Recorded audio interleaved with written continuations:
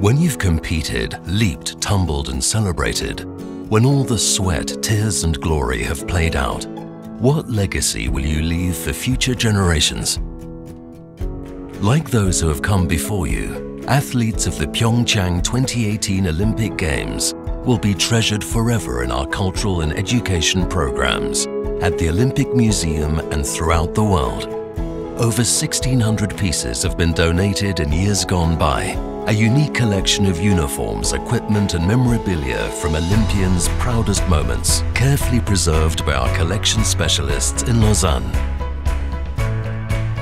In schools, stadiums, social networks and on our digital platform Olympic Channel, the Olympic spirit lives on 365 days a year. Once the spotlights of the Pyeongchang 2018 Games go off, imagine how you of children dream.